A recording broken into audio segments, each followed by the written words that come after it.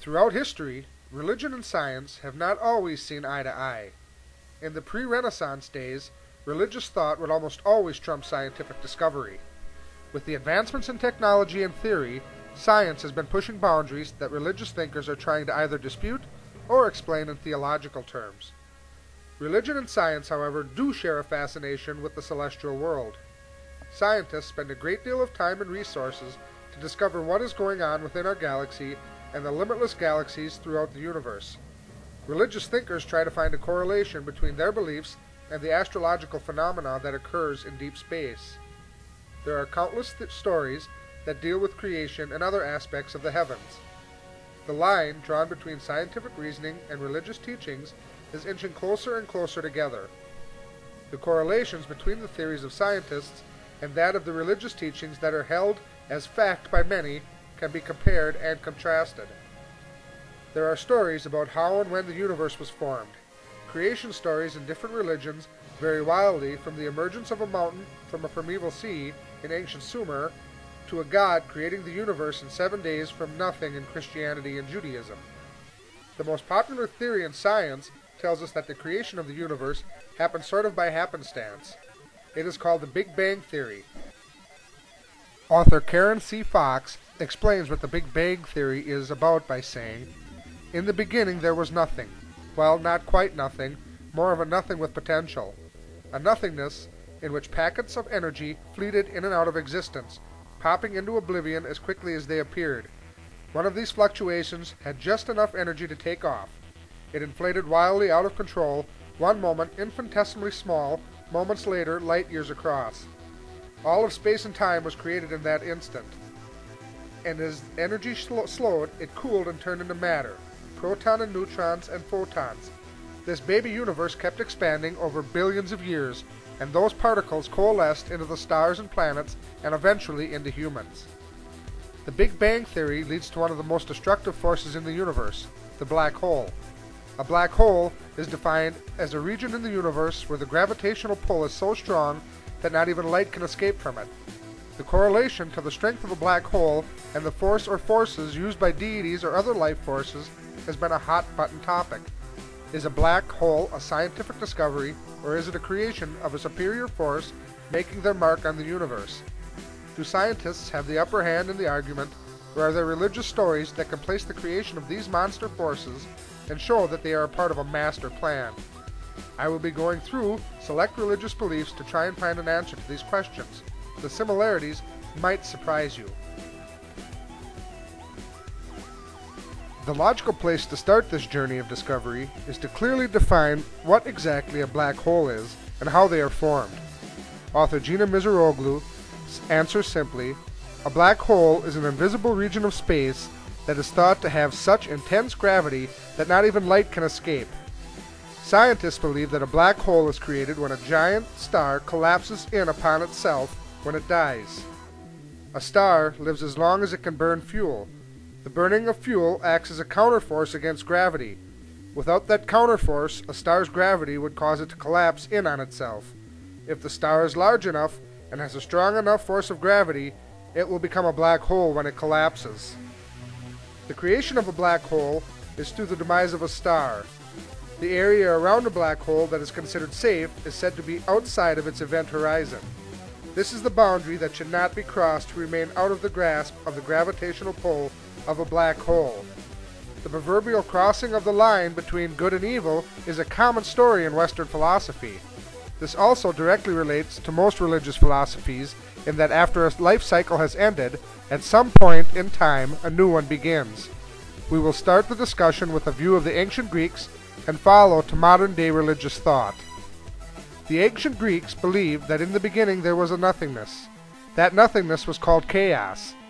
Chaos was said to be a void or a collection of elemental materials. Out of chaos, the earth and sky were formed. The nothingness, or void space, is a theme that relates to many of the world religions.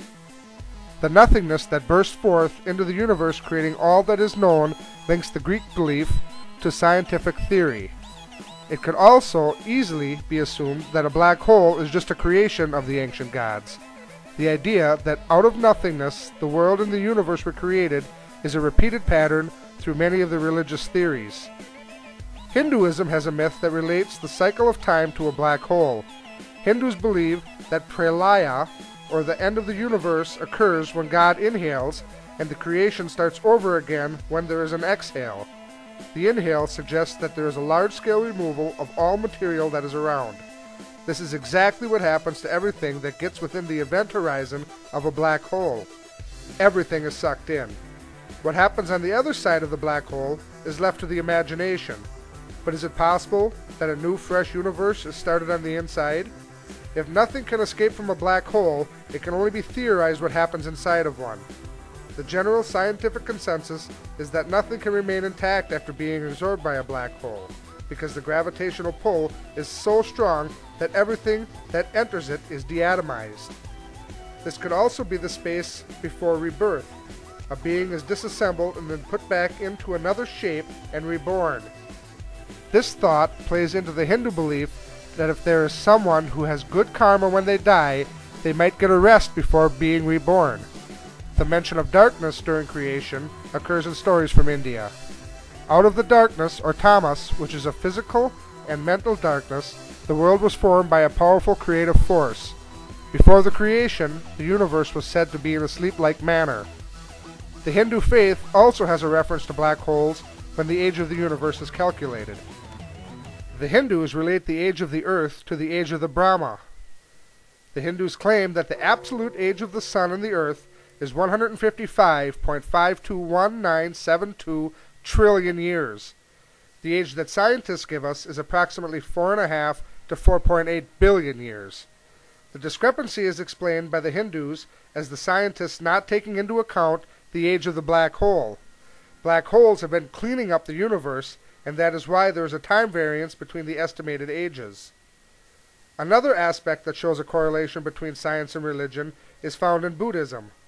A staple of the Buddhist belief is that there are no external forces at work. Reality is the only force that we need to concern ourselves with. The human concern is relevant only to nothingness. And out of that nothingness all things arise and slowly return to nothing. Osho, the author of the book Zen, The Art of Enlightenment, says, Physicists call that nothing the black hole. Matter disappears into black holes, is utterly annihilated, and becomes nothing. Now, after black holes, there is talk of white holes too. Out of white holes, matter arises. It seems white holes and black holes are just two aspects of the same reality, like a door. One way is an entrance, and the other an exit. The state of nothingness, or zeroness, as it is referred to, is the ultimate destination. The concept of a black hole is a goal for Buddhists. The beliefs of the Buddhist people are interwoven with the scientific explanation of black holes. Buddha was somewhat puzzling to the general public at first with this concept of nothingness, and yet many chose to give up their possessions and allow him to lead them to enlightenment. Likewise, today, many people find it hard to understand when physicists talk about black holes and the magnitude of their power, and yet they too choose to believe it. By weaving the topics of black holes and nothingness together, there is an understanding to the thought processes of the Buddha and how Buddhist philosophy can be used today with modern science. The Old Testament begins with the book of Genesis. The book is used by both the Jewish faith and the Christian faith, so a comparison to both will be made. Genesis discusses the creation story and contains interesting language that can be related to the area in and around black holes. It says that in the beginning the earth was nothing, and there was darkness all around. It tells of how God created the world in seven days. There is a debate on the Hebrew word for create. Some scholars maintain that the actual translation should be to shape or to form. Both the scientific world and the Old Testament agree that at one time there was a void, and that some force, the Big Bang for scientists, and the Spirit of God moving or blowing across it for religionists. The force that caused this movement will require a great amount of power. A black hole can shift materials because of its great gravitational pull. The force exerted on celestial objects causes a reactive force in other objects. This is how gravity works.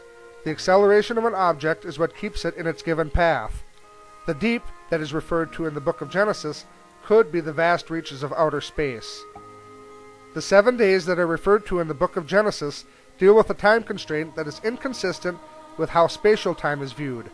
The seven days in this time frame could actually be hundreds of thousands of years.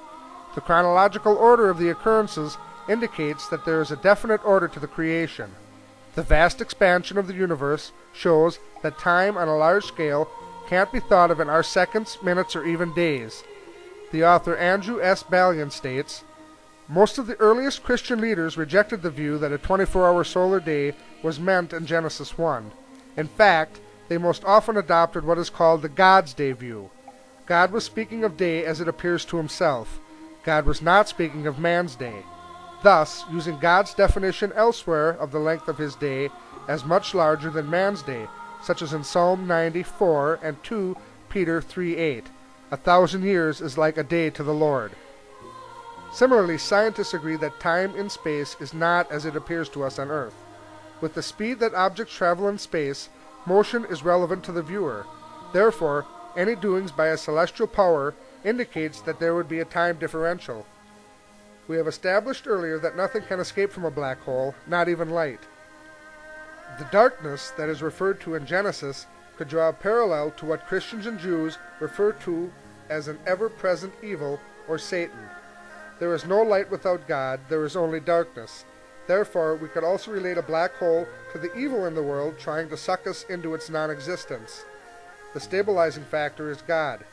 Gravity is a stabilizing factor in our everyday life. A black hole keeps the celestial bodies aligned with its great gravitational pull. The relationship of a black hole and God is that it keeps all things in line. Satan can also be compared to dark matter. Dark matter makes up most of the universe and is everywhere. In Islamic faiths, much like Judaism and Christianity, there is a great sense of the difference between what is light and what is dark.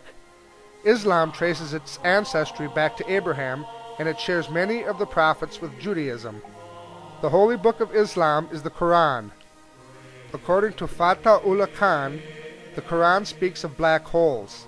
He says, according to the Holy Quran, these black holes have a great purpose to perform and a vital role to play in collapsing the universe.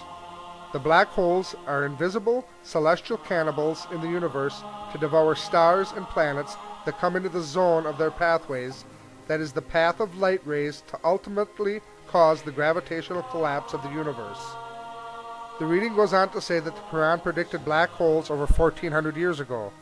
Given the age of the universe and the discovery of black holes by science within the last 80 years, the possibility exists that there is a force that is making the world go round. Through the information and sources that have been gathered, it is easy to see the correlation of religious thought and scientific sensibilities. Through the celestial body of a black hole, there is now a link between the mathematical existence of black holes and the possibility that there is another force at work. From the creation stories of the Greeks and Abrahamic religions down to the destructive possibilities that is seen in the Quran of the Islamic faith and continuing on into the destruction and then eventual rebirth found in the Hindu beliefs, there is enough evidence to reasonably say that religion and science meet somewhere. The unknown that is a black hole is a mystery to all who dare to wonder about it. There is a leap of faith taken on during every scientific experiment. The results are the cause of much anticipation and anxiety. With technology advancing as fast as it is now, and with the desire and will of brilliant minds working toward a better understanding of the final frontier, who knows what discoveries will be made in the upcoming decades and centuries. The lasting truths are the ones that can be proven. Everything else is just theory. As any scientist knows, theories are only good until new data comes along to change the thought process. With the information presented here, the correlation between science and religion is not as far apart as once thought. The combination of ideas seem to make perfect sense. Through the creation stories of the various religions, we see a pattern of darkness turning into light. Science says that there was nothing, and then, boom, there was something. Gradually, the universe worked its way to this point. To the scientific eye, this makes sense. To the religious point of view, it is a supernatural force, whether from a deity or from within our own conscience. It has slowly shaped the universe to where it is today. The same beginnings and the same end result occur in both cases.